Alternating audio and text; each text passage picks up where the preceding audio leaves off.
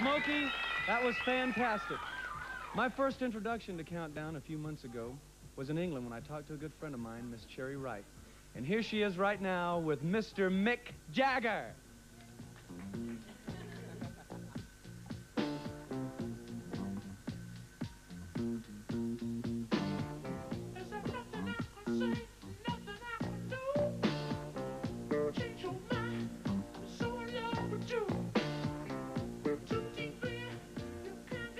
Welcome to Countdown. Oh, hello.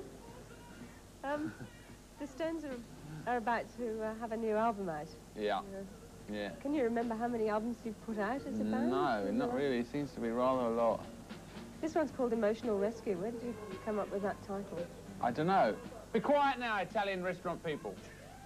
We're sitting in a, next door to the kitchen of an Italian restaurant, actually. Sorry, yeah, where did we get the title? Well, it's, it's rescue, right? As in knight on a horse, but it's like mental. Hmm. You know what I mean? Like, so instead of rescuing the girl physically, you rescue her from her mental traumas. Nothing personal, is it? No, not really, no. It's all imaginary. Yeah. Who came up with the title? I did. Um, there are ten tracks on this album. You recorded um, recorded it in Paris. Yes. And how long did that take? Far too long. I mean, it, that's, we're a bit l late with this one. We're supposed to have brought it out last year. But uh, I don't know what happened. Last year doesn't seem to exist for us, so this year's, we hope it's going to be more active. Is the whole album very, very much different from Some Girls?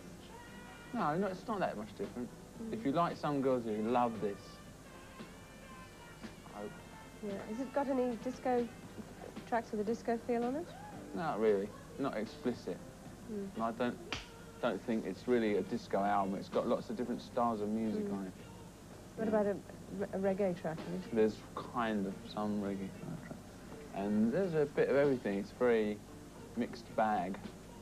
You know, or eclectic, you call it. Down under. Here in England, there seems to be a bit of a 60s revival going on at the moment. I mean, you were... a revival of everything. Yeah, well, it seems to have got to the 60s at last. Kind of, yeah. The big hit here is Theme from MASH, which they put out five times now, and that's a big hit. I don't know, it's not really... England's a very funny place. It's got lots of things going at once. It's, Mm. it's, it's a s- early 70s revival, actually, at the moment. It's a heavy metal revival. It's early 70s. Yes. But there's still, there's a, still a 60s thing with the miniskirt coming back and mod bands and... Oh. Well, yeah. I don't know. It's a funny Well, you were around, country. you were around in, in the 60s. I mean, All this, I was around in the started. 60s, Does that strike you as funny that, it- it's being revived? Not really. I mean, everything else has been revived. You had the 50s, 40s, the 20s. The 70s been revived already. Hmm. No, it's fine. I don't... It's a bit, England's a funny place, you know. And I don't live here very much, so it's even funnier for me. Yeah. How much longer do you think the Stones will go on? Oh, couple more years, I think, at least, if not more. Yeah. Got a lot of energy left in, Yeah, as far I mean, I'm not going to stop working it because the Stones finish. I'm not saying they will finish, but I mean, if they did, I wouldn't stop singing, you know. Hmm. There's plenty of other musicians. Is there any chance of the Stones sort of... No, not at the moment. No. Mm. If they did stop, I wouldn't. You know. You got any plans to do any movies or anything? There's always Well, talk yeah, of you hopefully, doing... you know, hopefully this next coming year. But this year I have to sort of concentrate a bit on band, I think, the next six months. Hmm. Um, there was talk of you coming to Australia earlier this year. It didn't happen. Well, we hope to, to, to come to Australia um, every year. No, I'd like to come in the autumn or your spring, right? Yeah. Uh, that would be ideal. What, this late year, maybe? Spring. Yeah, this year. Yeah. I'd, li- I'd like to, but it's not set up as yet.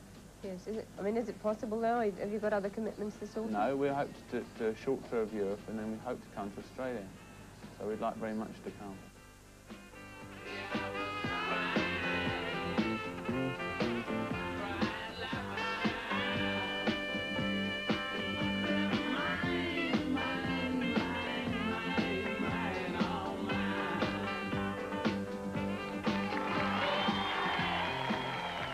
Thank you, Cherry. And that was Mick Jagger, one of the greats, one of the all-time great rock and rollers. Coming up soon, we've got a new Joan Armatrading song. But right now, from Tasmania, living and working in Sydney with their first single, The Innocents Was Sooner or Later.